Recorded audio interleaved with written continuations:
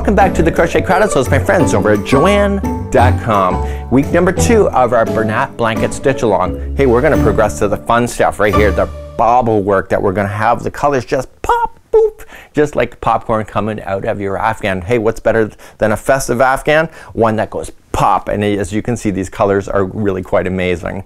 So what we're going to be doing in this particular one is that we're gonna get yourself set up to do all that and then we're gonna progress then later on in the week. So without further ado, enough chitter chatter, let's get at her and let's get into the studio right now and let's get you started. So let's begin clue number two. So we've already got our leaf orange here and we've just converted the last clue and that we are going to do the deep sea green as we go on to start today. What you're gonna be noticing is that this here we're not gonna be carrying any colors because if you carry it you'll see it and there is no border. So we're gonna be changing out in and out our colors here. So you see that there's one, two, three, four, and five bobbles that we are going to be applying this. So five rows of that. So let's uh, take a look at the diagram and instructions for this one. So like before what we have to do is that we have to do a setup row in order for us to get ourselves established in order to do it. All the abbreviations are right here that we're going to be using today. So this one we have to really think about. We are going to be doing um, some bobble working as you see. So we're going to be playing with this uh, particular idea and we're going to be working our way. There's also a crochet diagram on page number two of this clue and in this clue here you can see how it will work together as we're working our way through at this. So without further ado let's take a closer look at this diagram and then we're gonna get started immediately. So as we begin this we're going to be doing our setup rows and I want you to notice this here. This is a two together single crochet. This is not done on the end of a line. Remember this is a reduced sample.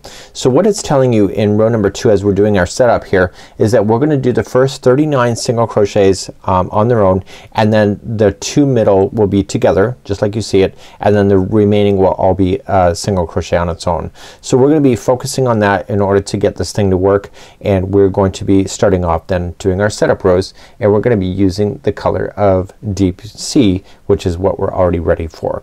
So we're going to begin to work through this. Now the pattern of the repeat pattern are these six rows that you see and it says to repeat that a set number of times. So it says repeat the set pattern and it will say repeat once more. So you're going to go through one through six and then do one through six again and then pick it up as we continue along with our clues. So without further ado let's do setup row number one. So let's begin setup row number one. You should be looking at the back side of the project. So when you finished off clue number one you should have at, been at the end and you can see that the good side is on this side. So we're gonna be starting on this and you should be looking at the wrong side. It matters and just make sure you're watching for that. We also want to bury in our yarn strands as we're gonna get started and we are just going to chain one and we're gonna do the front loops only. So we already covered that earlier on in today's or in this uh, particular stitch along. So just to recap in order to do that just slide your hook underneath these stragglers just, just to catch them underneath and go to the front loop only of the last stitch. So remember that the two strands there equal stitch. The back one furthest away from you is the back loop and the one closest to you is the front loop. So what I want you to do for about two inches is bury in the straggler yarn and a stragglers mean just weaving in the ends just as you go right underneath the stitch work and it saves you having to deal with it later if you wish. You can also use a, a tapestry needle if you want to. So for this row here all we're just gonna apply is one single crochet in each of the stitches all the way and once you're satisfied with this um, how far you've gone with these stragglers just let them fall to the outside and then just continue along. So one single crochet in each of the front loops all the way to the end. Please do that now and meet me back here in just a moment. So as we get all the way to the end you're continuing with the front loop only right into the last one and then we're gonna turn our work and then begin setup row number two.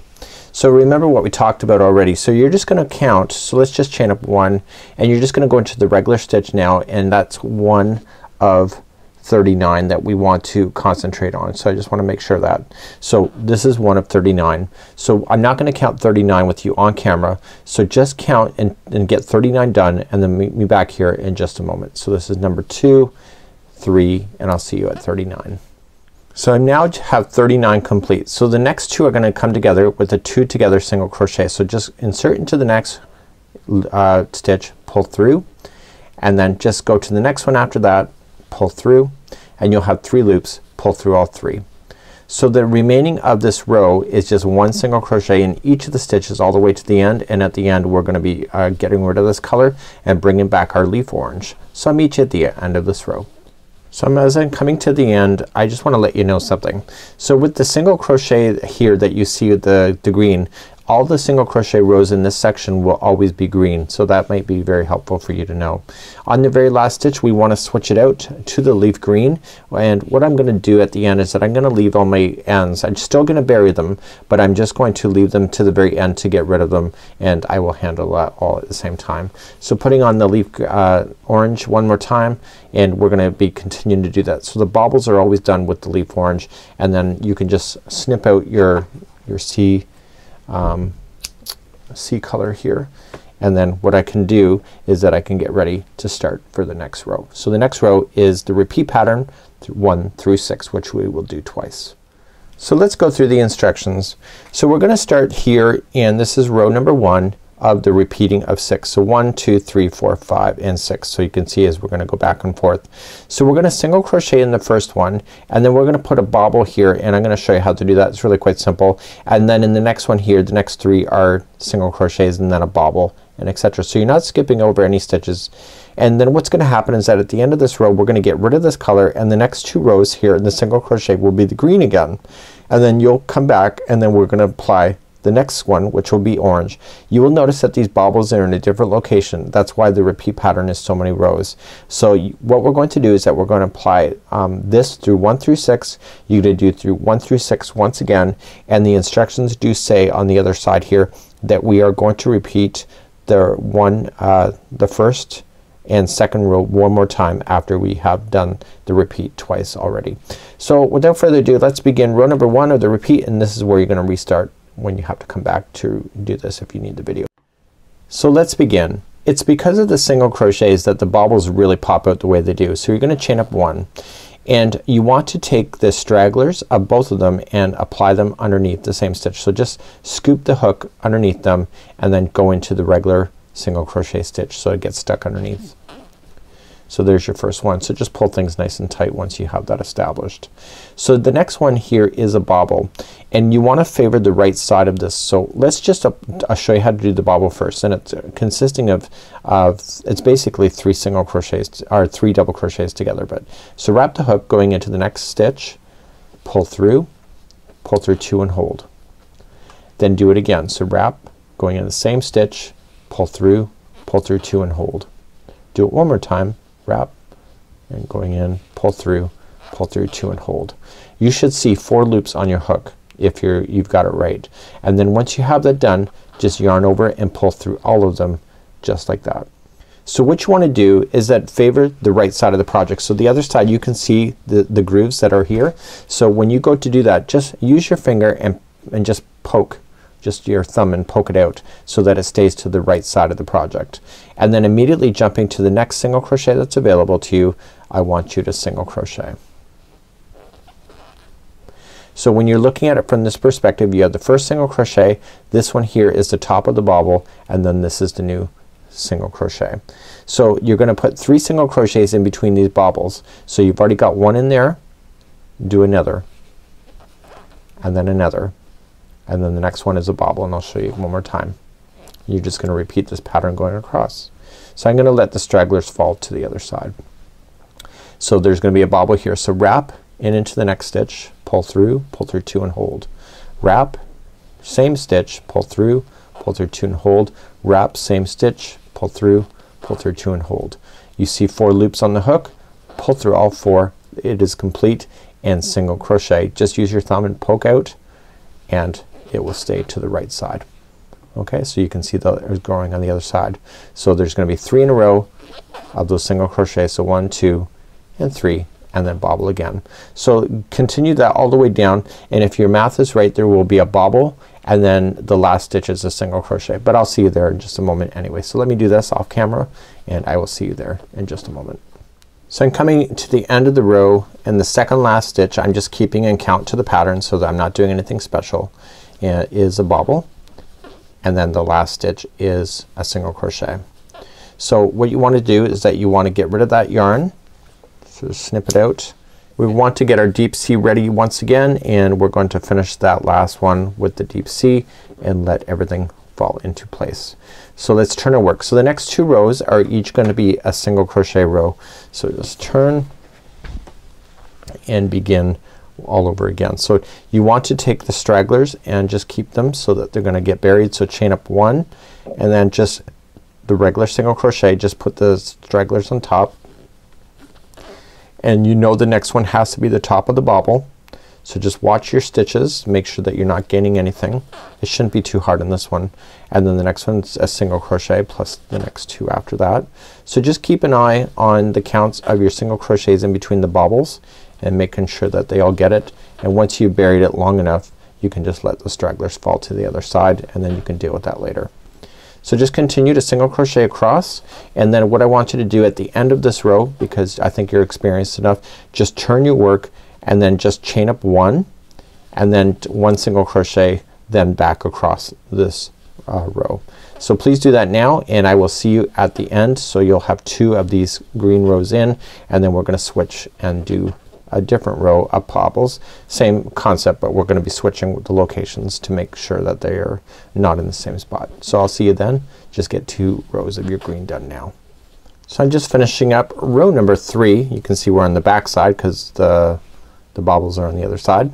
And we're just gonna come into your last one but we're gonna switch out our yarn again at the very end. So just get rid of your leaf orange ready and then just put it on and then finish that. And we're gonna turn our work. So I just wanna just trim my C deep sea there and then I want to start the next row. So this is row number four.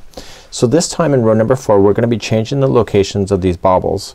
So to start up we're gonna just chain one and get your stragglers like you have been and in the regular stitch just bury them underneath. So just scoop the hook underneath it and go right into the stitch and you're gonna single crochet that one plus the next two. So just pull things nice and tight. Make sure it all works out. So next two.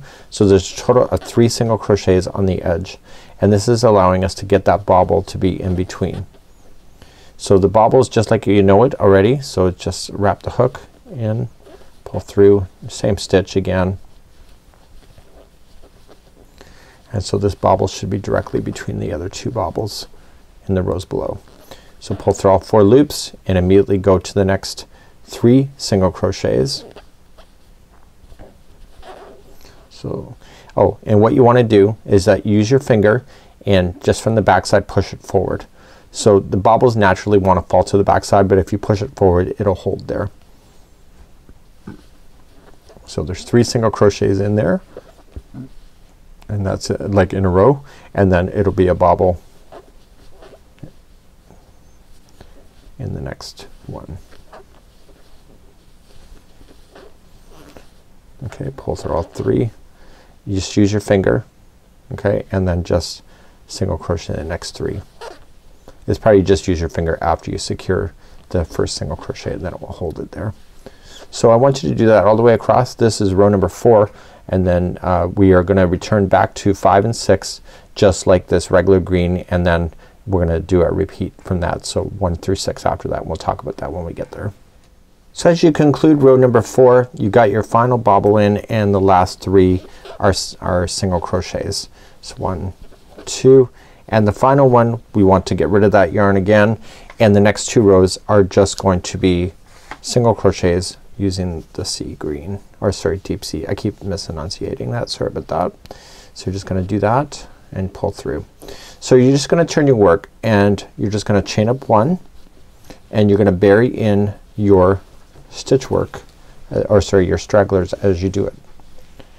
So for the next two rows it's just single crochet and then that will be rows number five and six. So then you're going to end up repeating pattern. So what I want to do is just uh, continue to bury in these strands as I go. Just pull things nice and tight and then continue along. So go all the way to the end and then chain up one and then uh, single crochet then back across and then we're gonna get rid of this again and then start and repeat row number one. So let me do that and I will be back in just a moment and we'll just recap on your repeat and then you're gonna be expected to do that and then get this done and then we're gonna then conclude the rest of the the, the um, clues for this particular week. So I'm coming up to finishing Uh, row number six. So I'm gonna put a time marker on here so that you can reverse back to go back to row number one and you need to repeat row number one through six one more time. So row number one is the first bobble here. So you wanna do one, two, three, four, five, and six. So do that one more time. Then once you have it done one more time you need to repeat rows number one and two one more time. Okay, so the, here's your instructions again. You're gonna repeat rows number one through six one more time. Then repeat rows number one and two one more time and then that's it. Okay, so what I'm gonna do is that I'm gonna leave this with you now and I'm gonna get this done off camera and when I come back then we will conclude the final two rows that are left after you have your repeats done. Again you can refer to the pattern if you're unsure at this point. And I will be back in just a moment and I'll have the rest of this part done. So now I'm back and you can see that I have five rows of these bobbles and you can see that they worked out pretty great. So I repeated one through six one more time and then I did one and two. So now when we go to turn the final row of clue number two is just simply a single crochet row. However there is something that is slightly different about it. So what we're going to do is that we're going to chain up one and I want you to apply one single crochet in the next 39 single crochets only. So one, two, and three. Meet me at number 39. Get 39 done and then meet me there in just a moment. So I officially have my 39 in. The next stitch I want to put two single crochets into the same stitch. So one and then two and then the remaining stitches that are left in the row is just one single crochet each all the way to the end. So as we come along in the final stitch we are not gonna finish it completely. We're gonna get ready for our week number three, our clue three and just get your vintage white back out. It is color B and then finish that off and then get rid of that um, deep sea color of the green. So I'll see you next week and we'll continue our mystery together or our crochet along. So how'd you make out? Those pobbles are just quite something aren't they? They make the Afghan go boom and that's what, exactly what you want for a festive blanket. So we're gonna progress into week number three next but before we begin take a photograph of your work and post it to our social media in order for us to see and don't forget to use the hashtag of handmade with Joann. We'll see you next time as we progress to week number three. Yeah we're gonna be at the halfway spot already. We'll see you next time. It's Mikey in behalf of the Crochet Crowd as well as my friends over at joann.com. See ya.